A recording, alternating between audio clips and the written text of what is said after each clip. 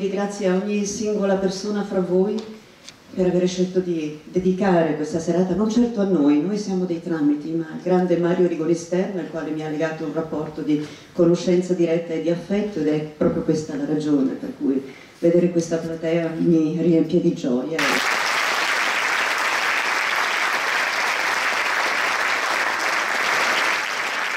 E a voi l'augurio di una buona ora insieme a Mario Rigoni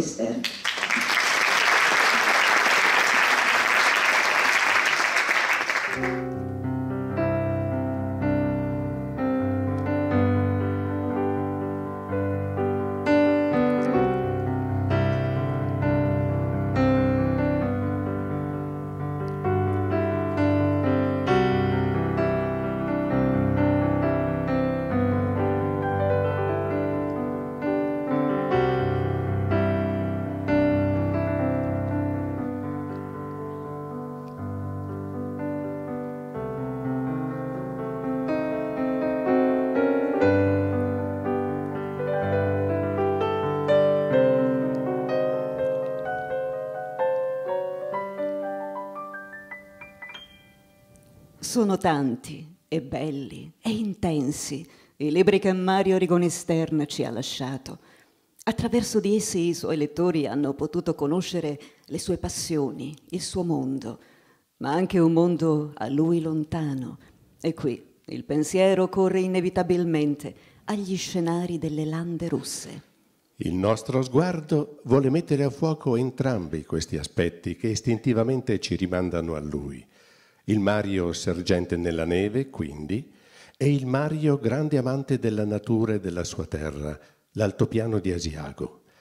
Alterneremo fra loro questi due piani. Voi seguiteci.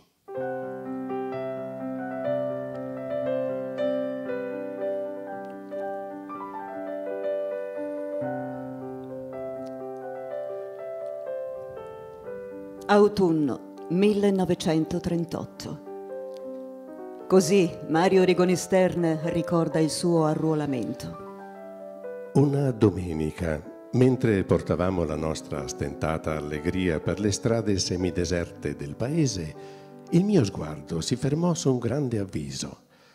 Regio Esercito Italiano. Bando di concorso per l'arruolamento volontario di allievi specializzati con ferma di anni due.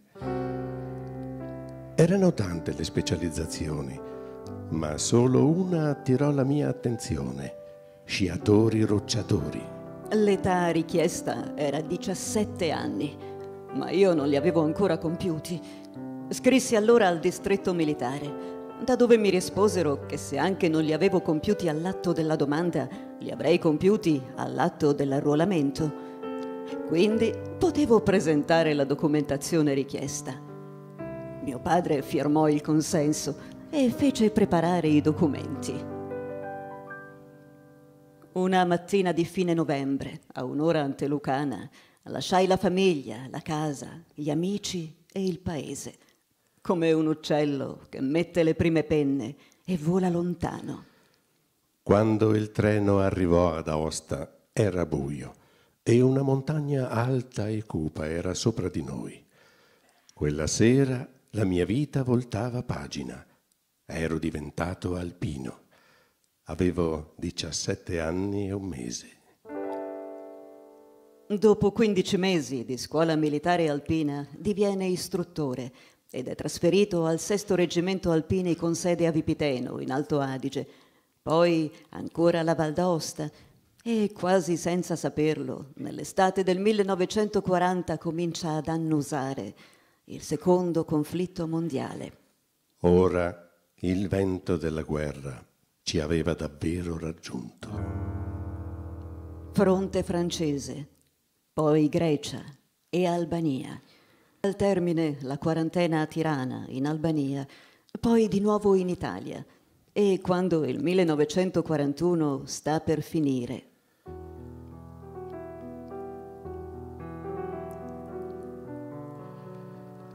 Ai primi di dicembre dovete raggiungere la scuola alpina di Aosta per un incarico particolare. Mi spiegarono che si stavano preparando dei nuclei di addestramento sciatori per il corpo di spedizione italiano in Russia. Dovevano essere sei, uno per ogni reggimento di linea che si trovava sul fronte russo, ed erano aggregati al battaglione sciatori Monte Cervino. Si materializza così per Mario il fronte russo, con un primo assaggio di ciò che sarebbe poi seguito.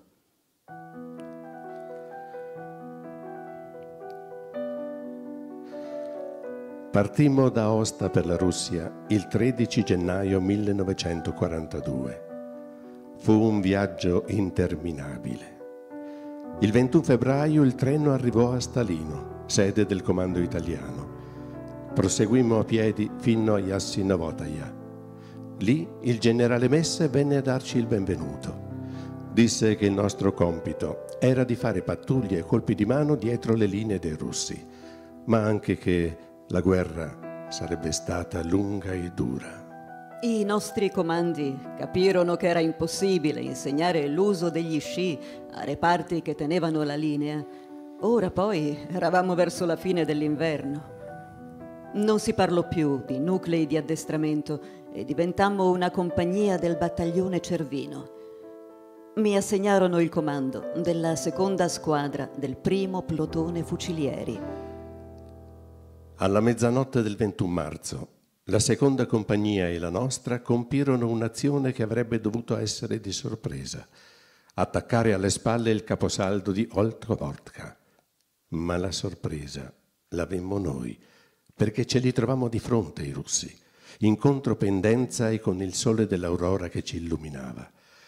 Dovemmo stare acquattati sotto il tiro dei russi e vi furono un morto e più feriti. In aprile venne improvviso il disgelo e le strade diventarono piste di fango. Il giorno 9 arrivò l'ordine che i nuclei di addestramento rientrassero in Italia. A Udine facemmo la contumacia in un collegio di suore. È il luglio del 42 quando arriva a Mario l'ordine di rientro in Russia. Prima però gli vengono dati tre giorni di licenza.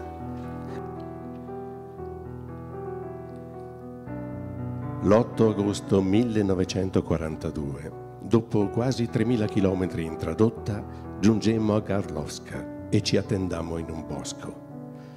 In quell'estate, un milione e mezzo di soldati tra Voronezh e Stalingrado si scontrava, combatteva, fuggiva, resisteva, si perdeva e si ritrovava nei deserti di erba ogni tanto interrotti da calanchi, tra attacchi aerei degli U-8 e scariche delle Katiusce. Giungemmo a Vorosilovgrad, dove vennero gli autocarri che ci caricarono. Andammo nella grande ansa del Don, per terreni deserti e sconosciuti.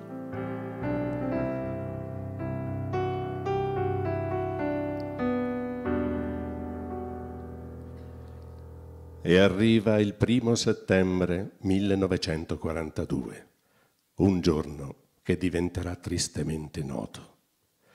Il primo settembre il Vestone e il Valchiese vennero impiegati verso il Don in un'azione né preparata né studiata. I tedeschi stettero negli osservatori a guardare. Al mattino ero caposquadra dei mortai da 45. Alla sera comandavo i sopravvissuti della mia compagnia. A distanza di tanto tempo, Dopo aver letto relazioni e ascoltato voci di chi allora comandava, mi viene il sospetto, quasi la certezza, che quel massacro di alpini sia stato voluto dai comandi tedeschi per mettere alla prova noi, truppe di montagna, nella steppa, per vedere se potevano fidarsi di noi anche su quel terreno. Nel libro del generale Messe la guerra al fronte russo si trova scritto.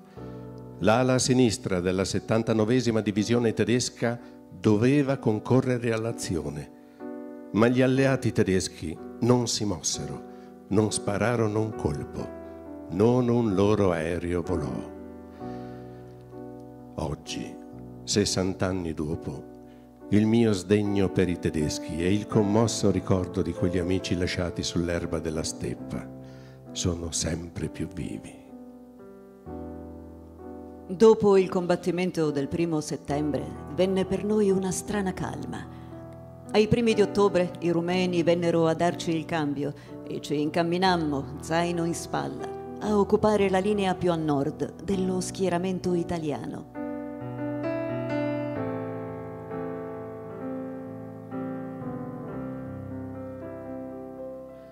Il nostro caposaldo era in un villaggio di pescatori in riva al Don. Le postazioni e le trincee erano scavate nella scarpata che precipitava sul fiume gelato. Di fronte a noi, a meno di 50 metri sull'altra riva del fiume, il caposaldo dei russi. Rimanevo poco ora nella tana. Ero sempre nelle trincee sulla scarpata del fiume, con le bombe e il moschetto. Il fiume era gelato, le stelle erano fredde, la neve era vetro che si rompeva sotto le scarpe.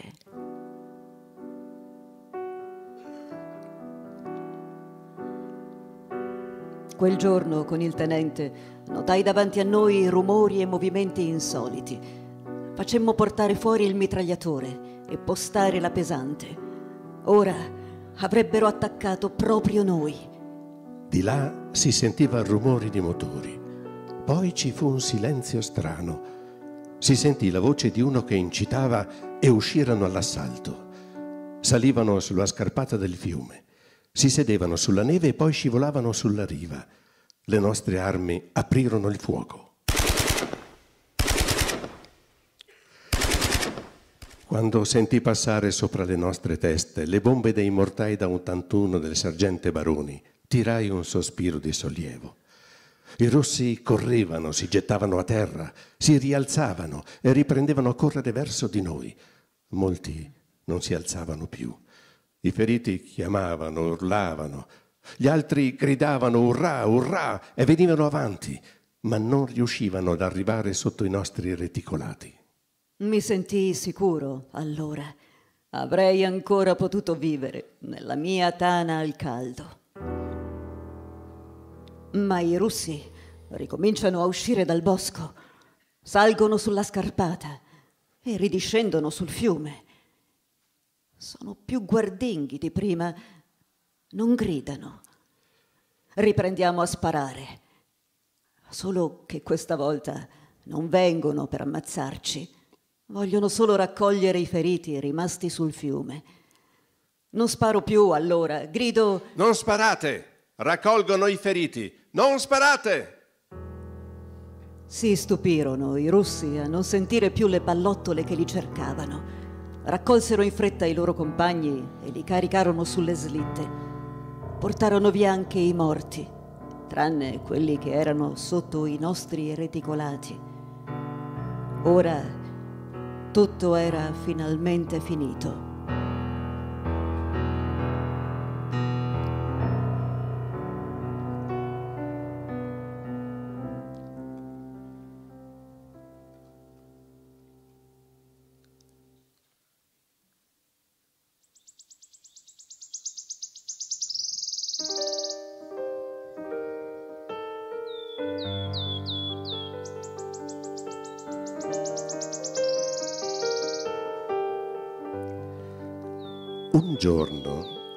Camminando verso la primavera in arrivo, giunsi all'orlo di una radura illuminata dal primo sole.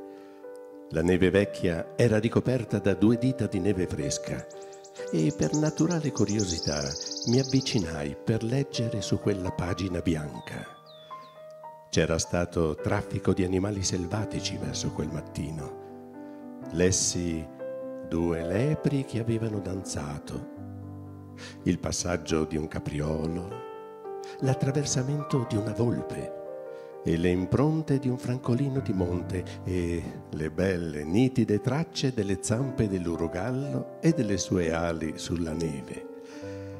Era stato lui, con il suo primo toc, che aveva chiamato il sole della primavera.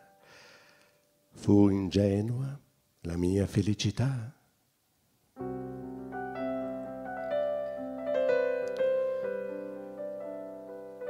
Quando sui solivi fioriscono i larici, è quello il tempo del tetrao Urogallus, il nostro cedrone, re della foresta ancor più del cervo, che ancor prima che si annunci l'alba, incomincia a lanciare il suo richiamo.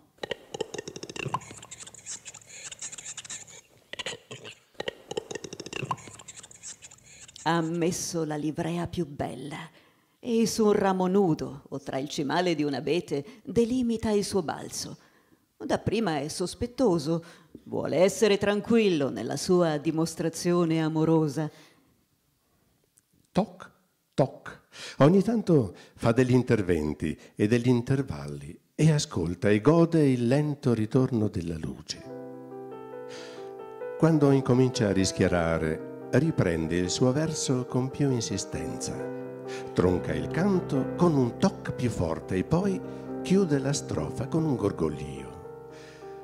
Questi primi segnali di richiami amorosi sembrano deboli al nostro udito, non abituato ad ascoltare le voci della natura, ma non per le sue femmine.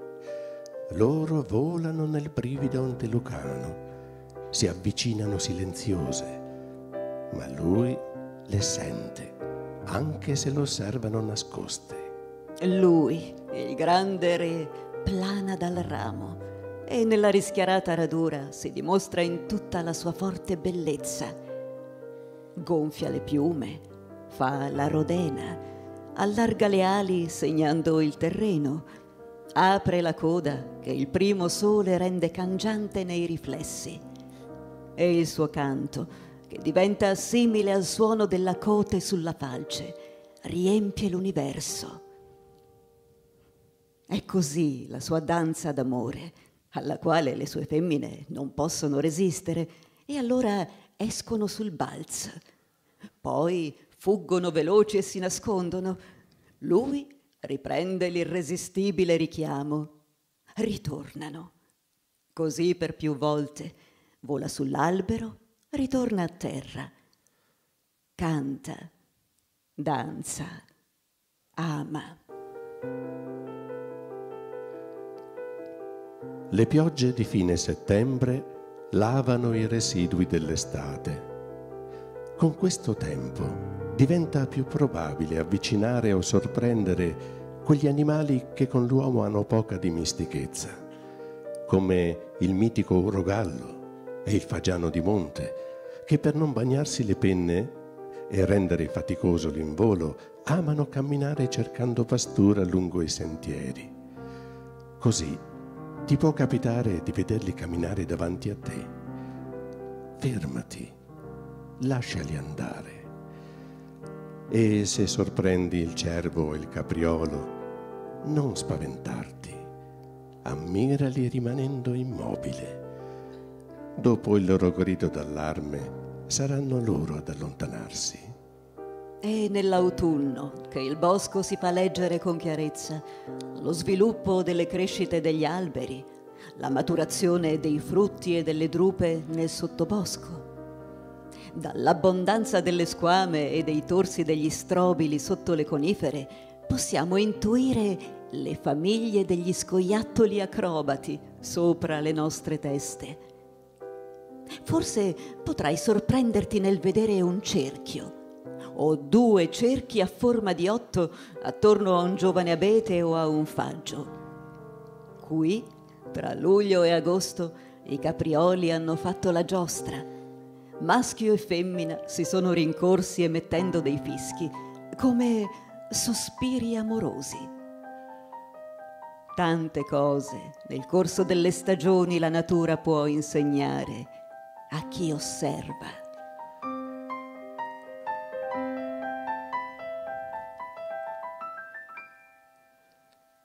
I cervi a ottobre lanciano i loro bramiti d'amore.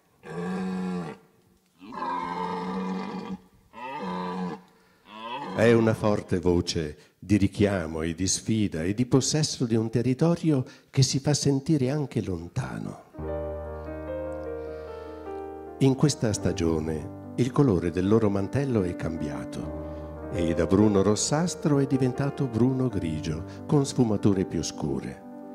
I maschi adulti hanno attorno al collo il pelo lungo e folto. Lenti e possenti esibiscono la loro corona. Girano in cerca del branco delle femmine, mugghiano nella sera come a dire sono qua, sono qua, guardatemi. I giovani maschi che seguono l'harem rispondono con bramiti meno possenti. Ci siamo anche noi. La lotta per il possesso della femmina è più visiva e uditiva che di forza ma accade anche che questo non sia sufficiente ad allontanare il rivale. E allora si passa alla lotta di forza fisica, intrecciando i palchi delle corna, spingendo, puntando gli zoccoli, facendo cerchio a testa bassa. Chi soccombe viene inseguito per breve tratto dal vincitore, che gli lancia come delle risate di scherno. Via, via! Poi ritorna a controllare e a riunire il gruppo delle sue cerve.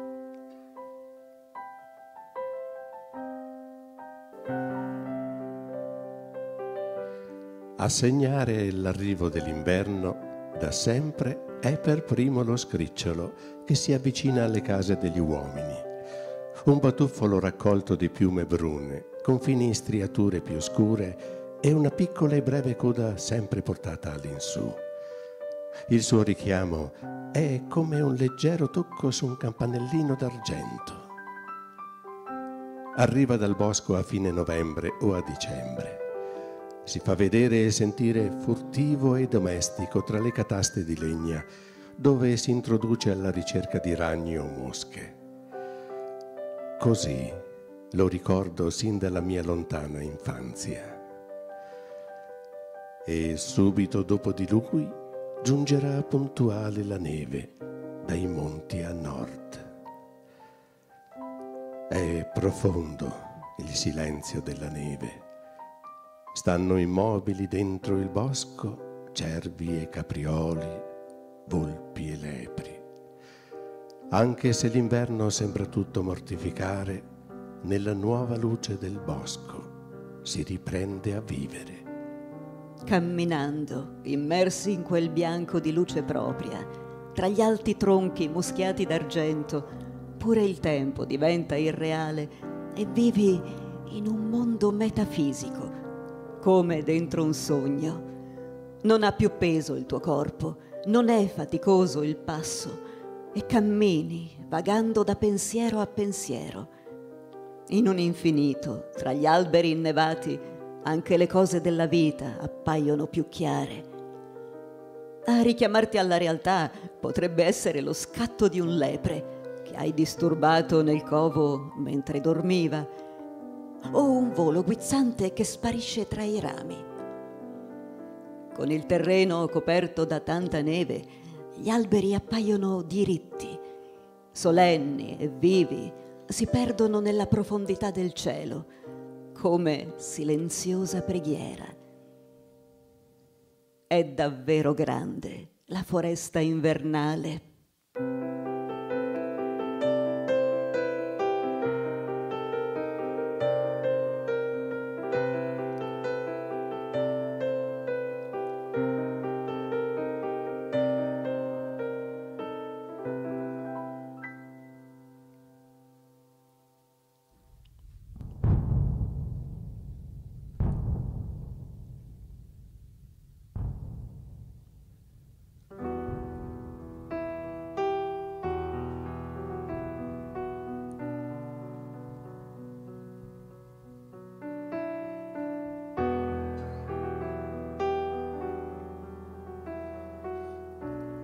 Assieme al tenente Cenci ci avviamo verso una postazione. Stasera dobbiamo ripiegare. Così disse, stasera dobbiamo ripiegare.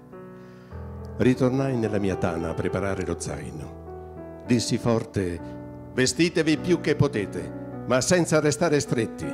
Mettete nello zaino le cose che credete più necessarie e più munizioni che potete. Bombe a mano tante del tipo più buono, le Oto le Breda. Nessuno pensi di andarsene per conto proprio. Dobbiamo restare sempre uniti. Ricordatevi questo, sempre uniti. Prima di arrivare al fosso anticarro, raggiunsi la squadra di Pintossi. Camminavamo silenziosi.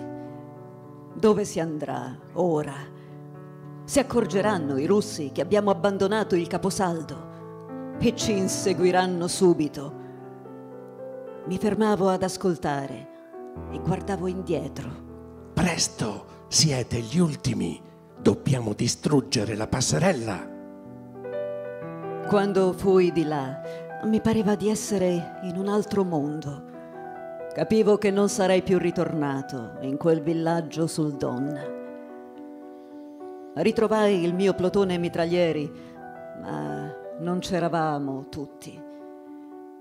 Ci incamminammo per la strada che avevamo percorso quando ai primi di dicembre eravamo venuti a dare il cambio al Valcismon della Giulia. Si andava con la testa bassa uno dietro l'altro, muti come ombre. Ogni tanto qualcuno cadeva sulla neve e si rialzava a fatica.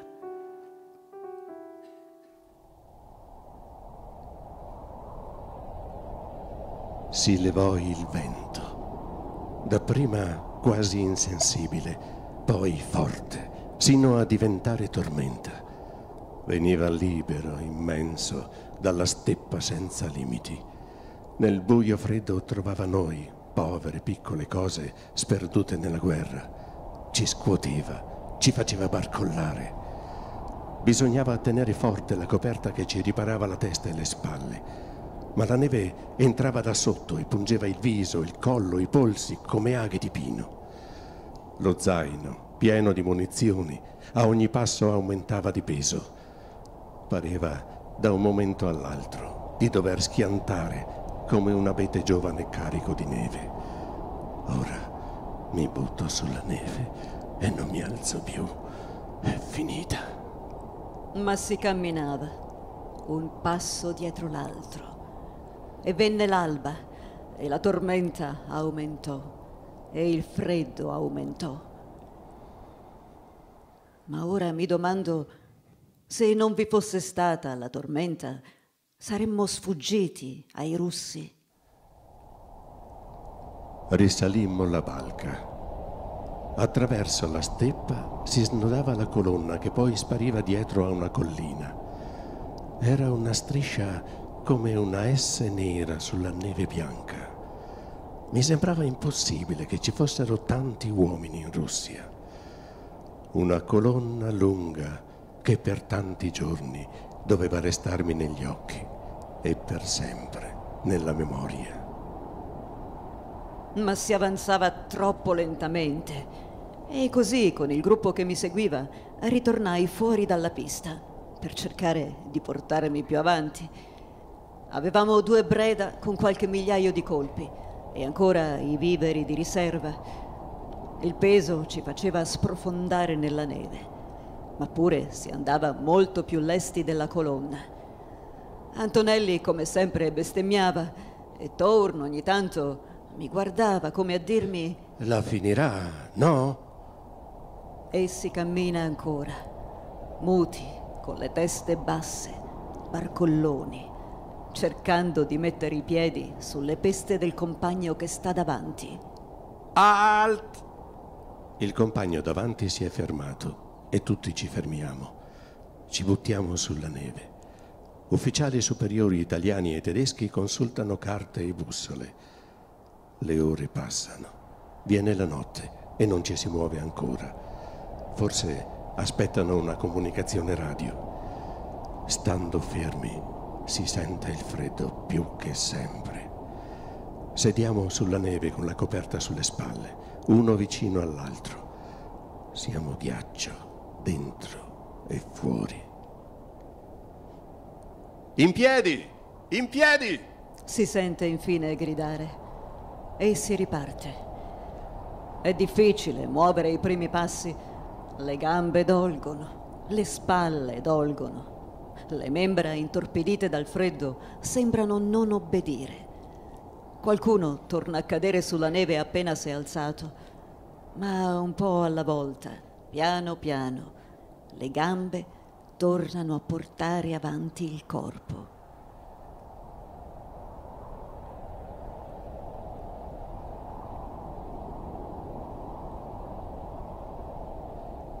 E viene il 26 gennaio 1943, questo giorno di cui si è tanto parlato. È l'aurora. Affacciandoci a una dorsale, vediamo giù un grosso villaggio che sembra una città, Nikolaevka. Ci dicono che al di là c'è la ferrovia con un treno pronto per noi. Saremo fuori dalla sacca se raggiungiamo la ferrovia. Intanto il grosso della colonna si avvicina a noi. Nel cielo appaiono quattro enormi aeroplani e si abbassano a mitragliare i nostri compagni. Vediamo le fiammelle che escono da tutte le armi di bordo e la colonna che sbanda e si sparpaglia. Gli aeroplani risalgono la colonna, poi si allontanano e ritornano ancora a mitragliare e vanno in giù verso la coda che come una linea nera si perde nella steppa. Noi del vestone dobbiamo attaccare a destra. Come usciamo allo scoperto, siamo subito accolti da colpi anticarro e da colpi di mortaio. I miei uomini esitano, si tengono indietro, vi è già qualche ferito, e grido Avanti, avanti, venite avanti! Anch'io esito un poco ma ormai ci siamo dentro e sarà quel che sarà. Qualcuno è colpito e si abbatte gemendo sulla neve, ma non si può nemmeno fermare a vedere chi è. Grido di sparpagliarci, ma è inutile, perché quando il pericolo è maggiore viene naturale il contrario. Così formiamo un bersaglio nitidissimo di infilata alle mitragliatrici il caporal maggiore Artico prende subito il comando del plotone e davanti a tutti grida Secondo e terzo plotone, avanti! Un'arma automatica mi ha preso di mira. Spara a raffiche brevi e precise. Ecco, adesso muoio. E trattengo il fiato. Mi allungo in un piccolo avvallamento nella neve e le pallottole battono lì attorno, sollevando spruzzi. La saliva mi si impasta in bocca. Non so che cosa penso o cosa faccio. Guardo gli spruzzi di neve a un palmo dalla mia testa. Antonelli e qualche altro mi sorpassano a dieci metri. Allora mi alzo e vado ancora avanti.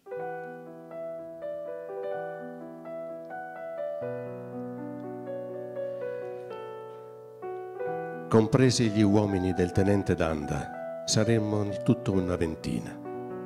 Che facciamo qui da soli? Non abbiamo quasi più munizioni. Abbiamo perso il collegamento con il capitano. Non abbiamo ordini. Ma sento anche che ho fame e il sole sta per tramontare. Attraverso lo steccato e una pallottola messibile vicino. I russi ci tengono d'occhio. Corro e busso alla porta di un'isba. Entro. Vi sono dei soldati russi là. Dei prigionieri? No, sono armati, con la stella rossa sul berretto. Io ho in mano il fucile. Li guardo impietrito. Stanno mangiando attorno alla tavola. Prendono il cibo da una zuppiera comune e mi guardano con i cucchiai sospesi a mezz'aria. Mnie ocezia iesti, dico. Vi sono anche delle donne. Una prende un piatto, lo riempie di latte e miglio con un mestolo dalla zuppiera di tutti e me lo porge. Io faccio un passo avanti, mi metto il fucile in spalla e mangio. Il tempo non esiste più. I soldati russi mi guardano. Le donne mi guardano. I bambini mi guardano. Nessuno fiata. C'è solo il rumore del mio cucchiaio nel piatto e di ogni mia boccata. Spasiba, dico quando ho finito, e la donna prende dalle mie mani il piatto vuoto. Pashausta, mi risponde con semplicità. I soldati russi mi guardano uscire senza che si siano mossi. Nel vano dell'ingresso vi sono delle arnie. La donna che mi ha dato la minestra è venuta con me per aprirmi la porta. Io le chiedo a gesti un favo di miele per i miei compagni. Mi dà il favo e io esco. Così è successo questo fatto. Ora non lo trovo affatto strano a pensarvi, ma naturale, di quella naturalezza che una volta deve esserci stata fra gli uomini. Dopo la prima sorpresa, tutti i miei gesti furono naturali. Non sentivo nessun timore, né alcun desiderio di difendermi o di offendere. Anche i russi erano come me, lo sentivo. In quell'isba si era creata tra me e i soldati russi e le donne e i bambini. Un'armonia che non era un armistizio, era qualcosa di molto più del rispetto che gli animali della foresta hanno l'uno per l'altro.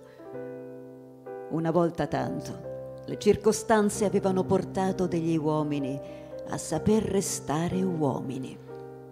Chissà dove saranno ora quei soldati, quelle donne, quei bambini.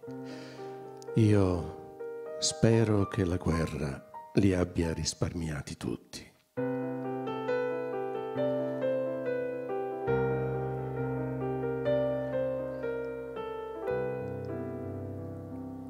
La colonna si è riversata nel paese. Tutti cercano un posto per passare la notte al caldo e, se possibile, mangiare qualcosa. Incontro il capitano Marcolini e il tenente Zanotelli del mio battaglione. Con questi mi metto vicino alla chiesa e chiamiamo Vestone! Vestone! Adunata Vestone! Ma potrebbero rispondere i morti. Si ricorda, Rigoni, il primo di settembre? È come allora, mi dice il tenente. È peggio, dico io. Di tutto il vestone riusciamo a radunarci in circa una trentina.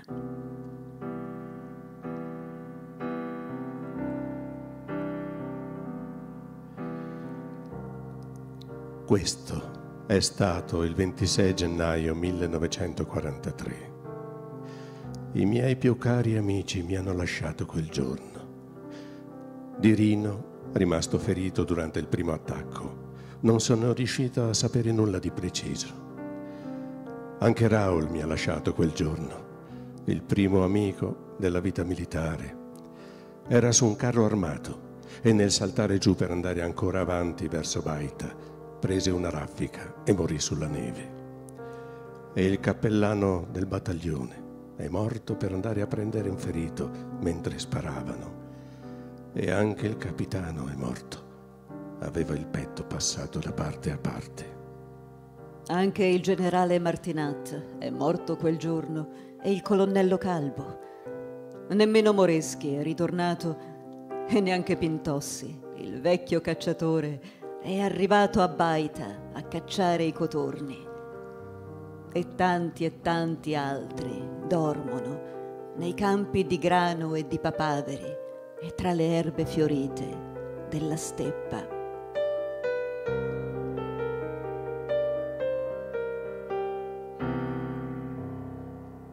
Sono camion italiani quelli laggiù, i nostri Fiat, i nostri bianchi.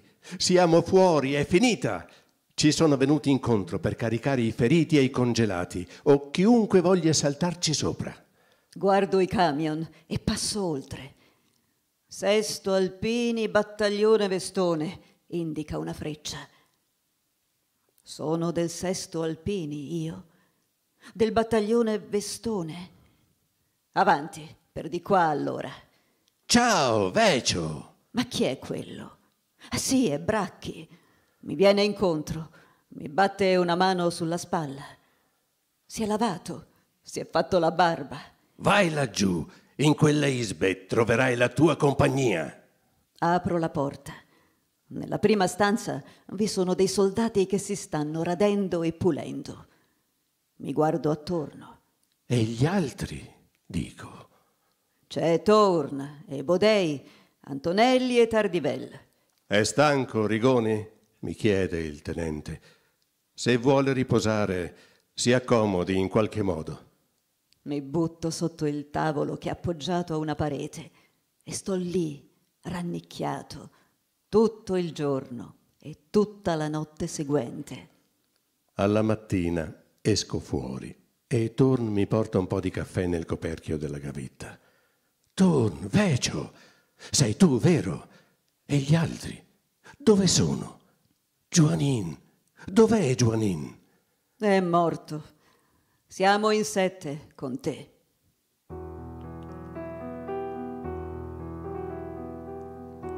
Qualcuno mi mette in mano un rasoio e un piccolo specchio. Mi guardo nello specchio e questo sarei io. Rigoni Mario di Giobatta, matricola 15454, sergente maggiore del sesto reggimento Alpini, battaglione Vestone, 55 compagnia, plotone mitraglieri. Una crosta di terra sul viso, i baffi sporchi di muco, gli occhi gialli i capelli incollati sulla testa dal passamontagna, un pidocchio che cammina sul collo. Mi sorrido. Ecco, ora è finita la storia della sacca, ma della sacca soltanto. Tanti giorni poi abbiamo ancora camminato dall'Ucraina ai confini della Polonia, in Russia bianca Tante cose ci sarebbero ancora da dire, ma questa è un'altra storia. Un giorno mi accorsi che era arrivata la primavera. Si camminava da tanti giorni. Era il nostro destino, camminare. E mi accorsi che la neve sgelava e che nei paesi attraverso i quali si passava c'erano delle pozzanghere. Il sole scaldava e sentii cantare una calandra, una calandrella che cantava primavera.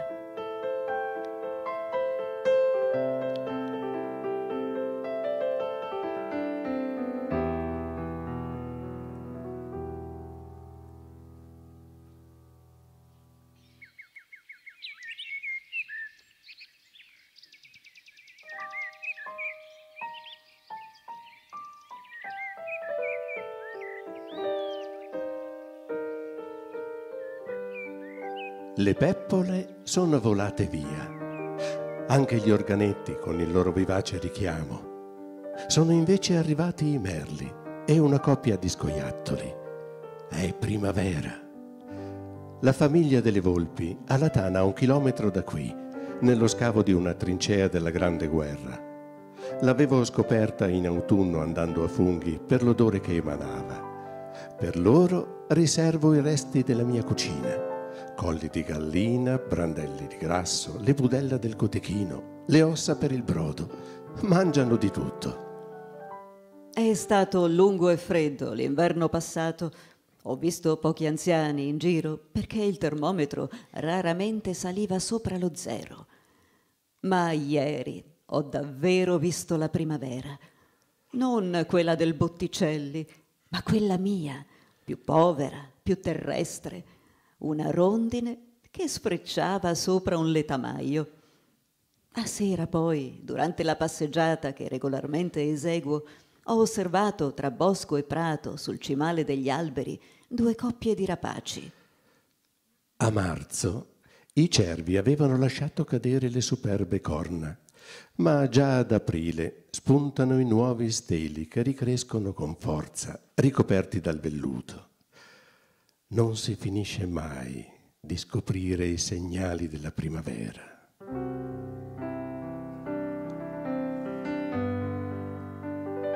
Andiamo anche noi, in un'alba d'estate, per sentieri del bosco. Sia discreto il nostro abbigliamento e silenzioso il passo, cercando di evitare sassi mobili e rami secchi. Fermiamoci ad ascoltare e ci sarà molto da scoprire. Un fruscio, un batter d'ali, il sottile richiamo del piccolo di capriolo, il rumore di una motosega dall'altro versante. Non si è mai soli nei nostri boschi che hanno mille occhi e mille orecchie. Forse, andando così, in attento contemplativo silenzio, vi potranno spaventare le urla d'allarme di un capriolo sorpreso nella siesta. Non gridate anche voi, non fate precipitose fughe come quel villeggiante che mi è capitato di vedere spaurito e pallido perché convinto di aver sentito e visto l'orso. Camminate con rispetto e cercate di non perdere l'orientamento. Più volte viene da incontrare gente spaventata che non riesce a ritrovare il sentiero per il ritorno. Se nella vostra passeggiata vi sorprende un temporale, non cercate rifugio sotto un abete o sotto un larice, alberi che attirano i fulmini. Cercate invece di raggiungere una casara. E a sera, ritornati alle vostre case o nella vostra città, dopo aver camminato per ore lungo i sentieri o attraversato pascoli e radure, riposato all'ombra di alberi maestosi, ammirato i tanti fiori colorati e profumati, incontrato una mandria di vacche al pascolo Oh, il gregge dei pastori, lassù, dove il bosco finisce. Allora vi sarà caro il ricordo di questa giornata e piacevole all'animo il riposo.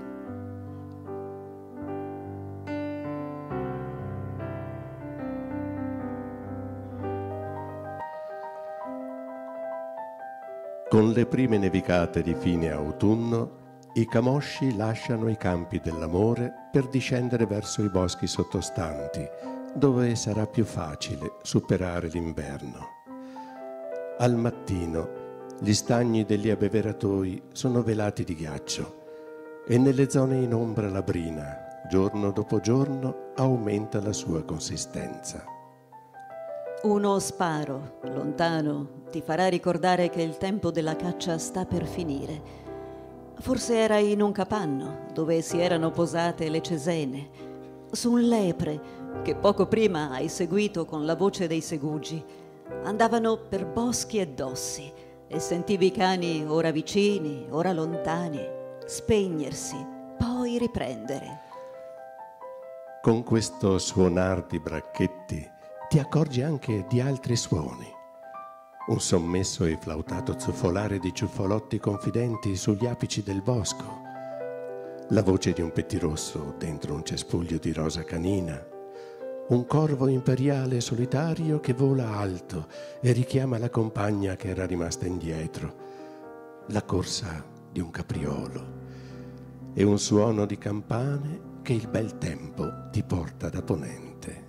Così una dolce malinconia ti prende la melanconia dell'autunno e sotto un larice all'asciutto cerchi anche tu un luogo dove accucciarti per meditare sulle stagioni della tua vita e sull'esistenza che corre via con i ricordi che diventano preghiera di ringraziamento per la vita che hai avuto e per i doni che la natura ti elargisce.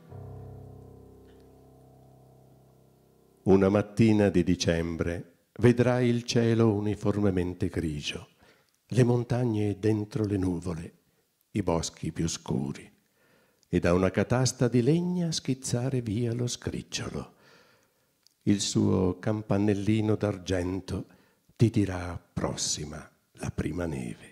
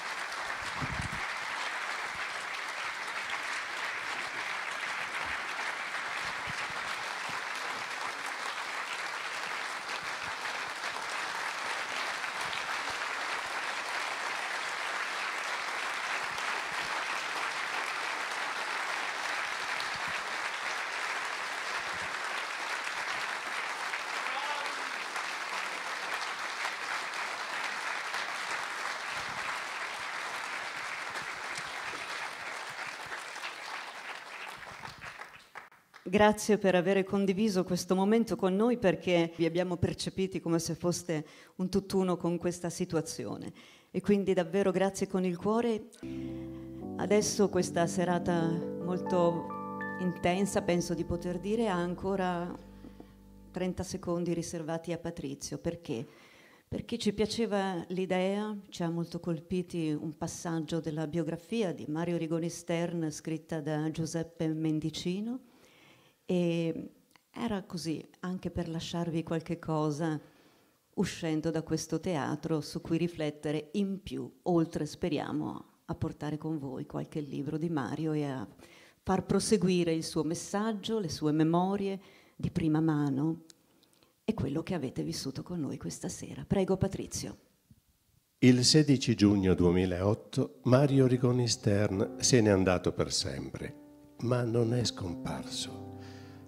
Quando ci fermiamo a guardare una meraviglia della natura o un suo piccolo fuggevole dettaglio, quando siamo incerti su una decisione da prendere che mette in gioco il nostro codice etico, quando ci chiediamo quale sia davvero il senso del nostro vivere inquieto, ricordarlo, rileggere le sue pagine può farci sentire meno soli. È questo il suo ultimo dono.